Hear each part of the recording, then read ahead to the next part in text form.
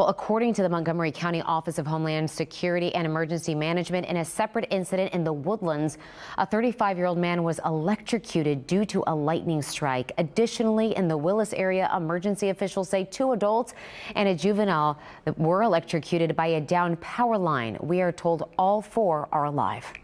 Our Bruce, Br Bryce Newberry, rather, uh, continues our team coverage tonight. Hey, he's joining us now live from the Heights, where today's storm caused even more problems. Bryce?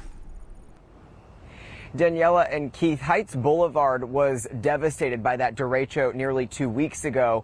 There's still so much visible tree damage here that we saw while driving around earlier. And tonight you can see another tree has come down. This is just one of many areas dealing with the aftermath of today's weather outbreak. From rain and heavy winds in Pasadena to street flooding in the Washington corridor and big chunks of hail in Clear Lake, this round of severe storms tore through Houston as cleanup from the last had just begun. In Kingwood, David Garza fired up his generator. The wind was really uh, blowing quite a bit. He's one of more than 325,000 Centerpoint customers who lost power at the height of the storm Tuesday, hoping his backup will keep his food chilled and aquarium running. We've already gotten two power outages, and due to weather, we don't know what to expect with the forecast of some bad storms. Businesses along Kingwood Drive also got knocked out.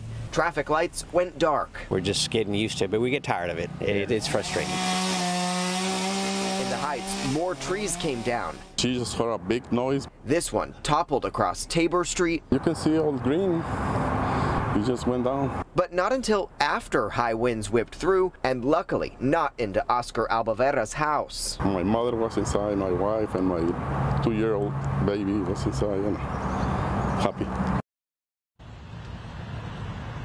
Good news for that family. Tonight, Centerpoint Energy tells me the utility has requested out-of-town help from line workers and vegetation management workers, a total of about 1,800 people, all of them with the goal of getting electricity restored for everyone. We're live in the Heights tonight. I'm Bryce Newberry, KPRC 2 News. Now, crews certainly have been busy the last few weeks, Bryce. Thank you.